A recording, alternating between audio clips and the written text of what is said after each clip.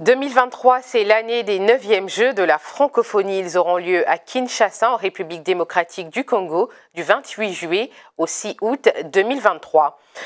En 2017, elle y a participé. Cette année, elle n'y sera pas. C'est une athlète ivoirienne spécialisée en sprint et médaillée d'or en athlétisme lors des 8e Jeux de la francophonie à Abidjan en 2017. Elle est vice-championne du monde du 100 mètres et 200 mètres à Londres en 2017. Et elle, c'est Marie-Josée Talou. Bienvenue Marie-Josée.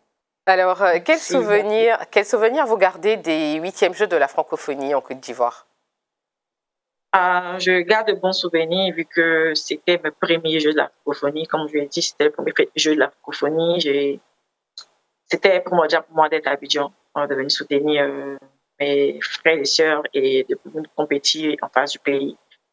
Donc voilà, de bons souvenirs en tout cas. Alors pourquoi vous ne participez pas à la, au 9e jeu de la francophonie? C'est bientôt, ce sera du 28 juillet au 6 août. Euh, ah, pourquoi cette année vous Vous n'y allez ah, pas ouais. Euh, cette année, j'ai 34 ans. Normalement, les Jeux de la francophonie, je pense, c'est jusqu'à 28, je pense, 29 ou 30. En, athlétisme, c'est jusqu'à 35 ans. Ah non, moi, je, le président m'a dit non. Le président m'a dit euh, 34 ans, normalement, je ne peux pas faire les Jeux de la francophonie. Après, je ne sais pas. Je ne sais pas. Alors, dans, dans le règlement... Je suis trop, trop âgée et et aussi, euh, j'ai les championnats du monde qui arrivent et je me prépare et me concentre. Ça fera trop de voyages pour moi aussi. Je pense aller au Congo, revenir en Europe. Je suis plus, j'ai plus 20 ans, j'ai plus 25 ans. Ça va être On essaie de, justement, on essaie de euh, canaliser l'énergie et euh, priori, priori, prioriser. Prioriser, voilà, prioriser euh, ce qui est important.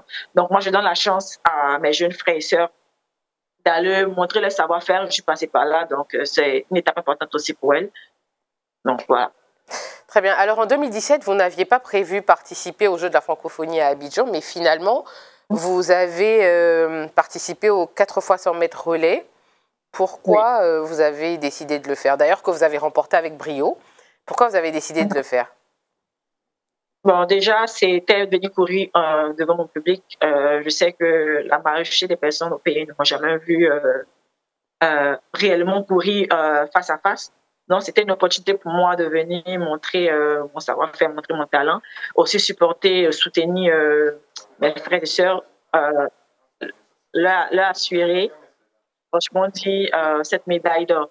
Donc, la compétition s'est faite à Abidjan. Donc, c'était pour nous déjà pour montrer au pays que nous avons des talents, que nous pouvons gagner cette compétition et aussi soutenir, voilà, en réponse. Alors, euh, vous êtes parti euh, cette année-là au championnat euh, du monde. Est-ce que vous avez mhm. été satisfaite du résultat là-bas?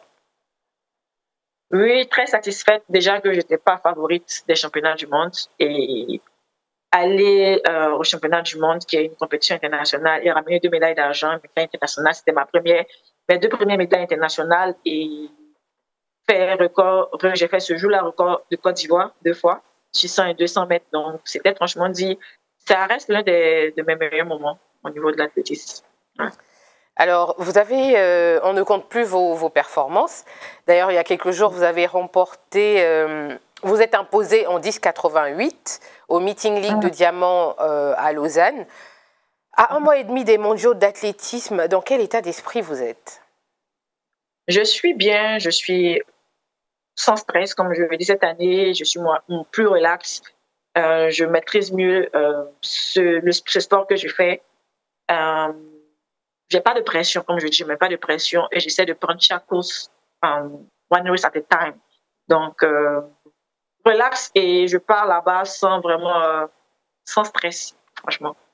Et comment vous vous préparez pour cette compétition? En général, comment vous vous préparez pour les grandes compétitions?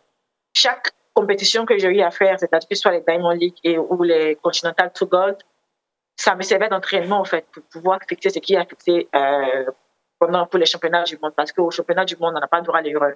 Tu peux faire des erreurs lors des, des, des compétitions, des Diamond League, ok, il n'y a pas de problème. Au championnat du monde, c'est tu dois euh, jouer ta carte, mm. tu vois. Tu dois être sur le podium, donc on essaie de fixer ce qui est fixé. Donc chaque euh, compétition pour moi en ce moment me sert d'entraînement pour voir ce qui est fixé. Et après ça, je pense que ma dernière compétition, ça sera le 23, sur 23 là. Euh, ma dernière Diamond League avant les championnats du monde. Et avec le coach, on va s'asseoir et voir ce qu'on doit fixer et sur quoi on se base pour aller améliorer pour les championnats du monde. D'accord. Alors aujourd'hui, quel bilan vous faites euh, de votre carrière? Franchement, je ne veux pas faire de bilan là, non, maintenant, parce que ma carrière n'est pas encore terminée. Je pense que ma carrière est continue. Je pense qu'elle est en train de clore encore. Même, je, même si j'ai 34 ans, je pense que je redécouvre l'athlétisme. Bien sûr, on vous le souhaite. Hein. Donc, du coup, voilà. Donc, euh, je ne veux pas faire de bilan, bilan en tant que tel, parce que je me dis qu'il y a encore beaucoup à apprendre, il y a encore beaucoup qui viennent. Donc, je pense qu'après, je, je pourrais faire des bilans, mais là, euh, il n'y a pas de, franchement, de bilan à faire, parce que je continue à apprendre, je continue à, à parfaire mon art et je continue à m'améliorer. Très bien. Euh, quel conseil vous pouvez donner aux plus jeunes aujourd'hui qui, euh, qui vous prennent en modèle, qui espèrent courir aussi vite, sinon plus vite que vous? Ah, moi, déjà, je pourrais leur dire de persévérer. La persévérance est quelque chose qui pourra leur apporter grandes choses. Persévérer. S'entraîner durement, c'est-à-dire euh, ne pas tricher. S'entraîner durement. Moi, ce qui m'a aidé, franchement, dit, il y a ma foi, ma foi en Dieu. Euh, j'ai pas abandonné. Il y a le soutien de toutes les personnes qui étaient autour. Mais franchement, dit, je vais dire, euh, mon travail, c'est-à-dire, parce que je, ne me suis pas amusée à, tricher.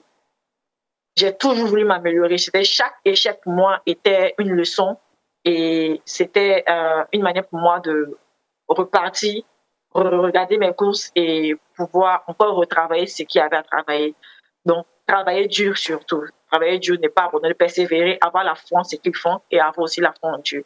Je pense que ça aide parce que dans ce sport-là, si tu n'as pas la foi en Dieu, si tu n'as pas la foi en ce que tu fais, je pense que tu ne pourras pas avancer parce que c'est dur de foi. Très bien. Et euh, est-ce que vous avez un secret pour garder la forme? Pour courir aussi vite ou... ou... des astuces pas vraiment de secret. Non, j'ai pas vraiment de secret. Comme je dis, quand je cours, franchement, j'ai l'habitude de dire que je ne cours pas, je cours avec l'Esprit Saint. Il y a de dire que chaque jour que je me réveille, je demande à Dieu de renouveler mes forces parce que c'est pas facile. Des fois, c'est dur quand on se réveille le matin, on est fatigué. Là, comme ça, aujourd'hui, je suis fatiguée parce que les deux jours d'entraînement, c'était vraiment chaud. Mm. Mais on va dire que c'est Dieu qui renouvelle les forces et c'est Dieu qui nous donne euh, la possibilité d'avancer, vous voyez. Et c'est aussi euh, la confiance que j'ai en moi, la confiance que j'ai en mon coach, la confiance que j'ai aussi en mon équipe voilà, donc euh, il n'y a pas vraiment de secret en tant que tel, en fait. Il faut avoir foi en soi, confiance en Dieu et laisser Dieu gérer et se donner les moyens d'accomplir ses rêves. Très bien. Des conseils euh, pour euh, celles et ceux qui iront défendre la Côte d'Ivoire au 9e jeu de la, de la francophonie à Kinshasa? Bah, Je leur dirais de, de prendre franchement du plaisir parce que s'ils sont trop stressés, je pense qu'ils vont rater euh, les performances qu'ils pourront faire. C'est d'être relax, de prendre plaisir euh, à chaque course qu'ils feront et de donner le meilleur demain. Voilà. Je sais que c'est pas facile. Peut-être qu'il y a d'autres qui auront des échecs, mais c'est pas pour autant qu'ils vont être découragés, qu'ils se servent de cet échec-là pour pouvoir accomplir quelque chose de mieux d'eux-mêmes. Mais de se donner à 100% aussi, de se donner à 100%, de ne pas vraiment, euh, comment je vais dire ça, de ne pas stresser, voilà, d'être relax et de confier tout à Dieu. Très bien, merci beaucoup Marie-Josée Talou. Est-ce que vous avez un mot pour la population ivoirienne? Ah, je, remercie euh, tout un chacun pour le soutien, pour les prières. Je reçois beaucoup de messages et ça fait vraiment plaisir. Ça donne aussi la force, ça motive pour toujours essayer de se battre et de ramener les médailles, de toujours continuer à prier pour nous et de, de nous encourager. Voilà. Je lui ai dit merci. Merci beaucoup à vous. Merci de nous avoir accordé cette interview. Euh, c'est la fin de cette émission. L'information continue sur cette info.